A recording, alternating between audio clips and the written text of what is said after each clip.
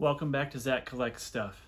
Um, if you remember the beginning of my channel, if you've watched those first videos, you kind of know how I started making videos, and that is um, with a collection that my dad came across through a friend of his that owns a storage facility.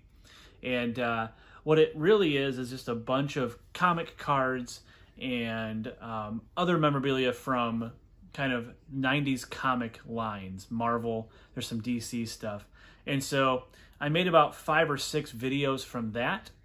And then we have more. Uh, the guy that was cleaning out this the storage unit came across more of this collection from the same unit that he hadn't gotten to yet and he dropped it off to my dad and said here here's more stuff for you guys to look through and so um, this is what we have and for those of you that know figures from the 90s, you can see a few cool ones in here. Nothing huge, but there's some cool figures and there's some cards. So I'm going to probably do two videos on this one.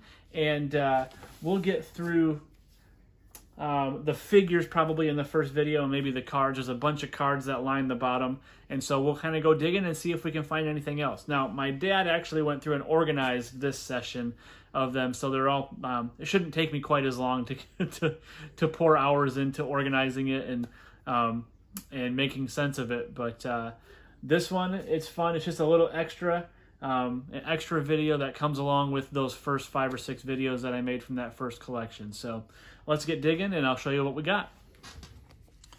Okay, so diving right in.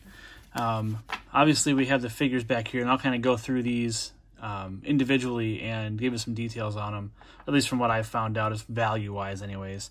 Um, but I want to start off with these four mini comics. And so um, in the boxes were these, from what I can tell, 1983 Kellogg's Cinnamon Mini Buns mini comics. At least that's the date that is given out. I don't know if I can, that's what people had put on there. But can't find really any sold comps on these. Um, I've tried searching in a number of different ways. Um, there's a bunch of them that are listed anywhere between 15 and 20 bucks. So um, I would think realistic value, I would think like five to $10 on this one here. Um, but cool, this little mini comic really good condition for being like a cereal prize. These are really nice. So, so we have these two Flash comics um, versus Dr. Polaris. Polaris. Uh, again, from the same giveaway. On the back here, it tells us the four that are um, in the little mini series there. But these ones, again, there's no sold listings from these on eBay. Um, looks like they're listed again, like the Superman, probably around 15 to 20 bucks each. Um, I would say, like I said, realistic value probably around five to 10 bucks. But these, again, are really a nice condition, except for these ones have quite a little bit of a bend in the middle to them. Um, so I don't know if that was just from the way they stored them or the way that they came in the box or whatever for these two. Uh, there's those ones. And then the one that actually has a sold comp is the Wonder Woman and the Star Riders. Sparkling Super Heroines. I was trying to focus on the stuff behind, so I don't know if I can steal it there, but Star Riders. So this one actually has a sold comp of $15. So that means, and there's other ones that are listed now for 40. Um, but there's one sold for 15, so that's what I'm kind of placing the value on for that. Um, so for those four comics, I wish I had the fourth one, which would be the Justice League one. Kind of a cool little mini series there, but um, I really don't know what to do with these. They're just kind of a cool little collectible. Hopefully at some of a show or something, I can find somebody that's interested in them. But I saw somebody had a set of all four of them. Obviously, they had the Justice League one, and they, they were asking like 160 bucks. That's that's ridiculous. 40 bucks a comic? No way. Um, for these.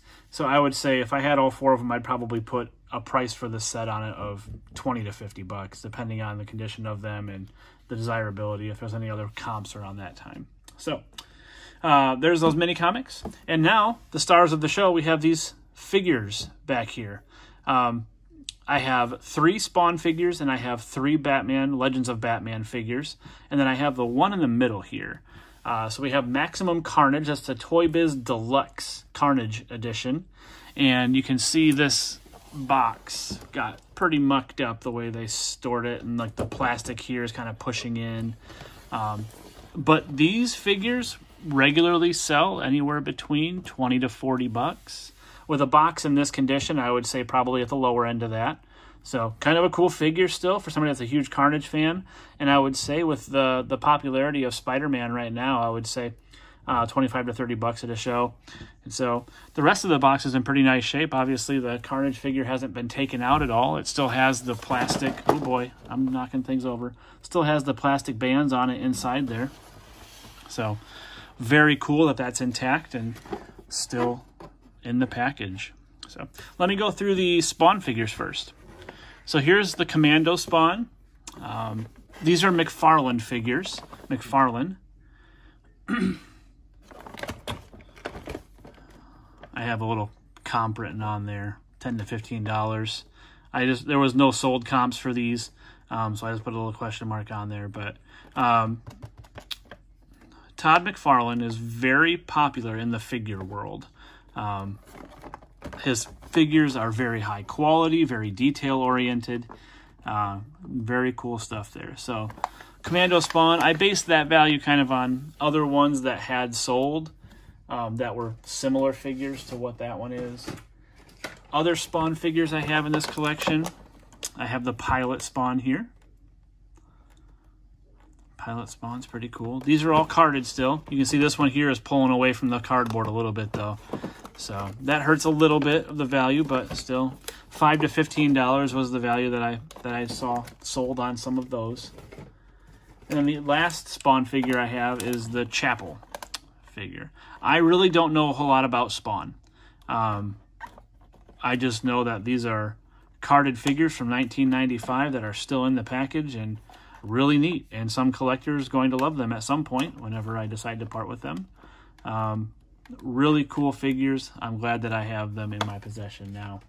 So the other ones that I have are these Legends of Batman figures, and these are really neat. I remember watching a lot of these, um, the Batman cartoons, especially the Batman animated series. Um, so love these Batman figures. They're super cool. On this Knightquest Batman, I saw values of 10 to 20 bucks. So for me, I would say at the lower end of that just because the cardboard's not all that nice. There's a giant crease across the, the card there. The corners are dinged. Um, but it's a cool figure there. Has all the accessories still in the package. So really nice on the Knightquest Batman there. From the other ones from the Legends of Batman, I have the Riddler. When I think of the Riddler, I just think of Jim Carrey from Batman Forever. And uh, I don't know if they ever did a Riddler again, how I would react to that, but I just love Jim Carrey. So even though the movie may not have been the best Batman movie, uh, I just love Jim Carrey just because he's so crazy. But the Riddler one, comps on that one, I have between eight and ten bucks. Now these aren't, like I said, they're not really mind blowing. They're not, uh, they're not rail grails or super rare. You know, they're just cool figures that somebody could add to their collection at a relatively reasonable price. And the last one I have here is Catwoman. And really neat there. This one's probably the best condition card that we have. Really good shape there. Comps anywhere between 8 to 10 bucks. So, really neat that I get to kind of dig through this stuff. You can see that has the original price tag on the bottom there of $6.99. So, that's probably what I would sell it for, even today. But really cool that I get to come across this kind of stuff. My actually my parents come across this kind of stuff, and I get to dig through it. Uh, I'm really the first person that gets to um, assess a value on it after who knows how long it was in that person's collection. And so I get to share it with you guys, and this is fun for me. So I'll have another video about the rest of the stuff that was in that box. I'll give you a little preview. Um, lots of Valiant cards. I know it's not all Valiant. Um, but there's some Marvel stuff in there. I think there's some DC stuff in there. And uh, hopefully we find some gems in the rough there. I know my dad went through and sorted all the Valiant cards into multiple complete sets. Thanks for watching. I appreciate every watch and every view and every comment. And uh, if you guys have any questions or statements about these things, please share them with me. I would love to hear them and I'd love to respond to you. So have a fantastic weekend. Have a fantastic night, and I'll talk to you soon.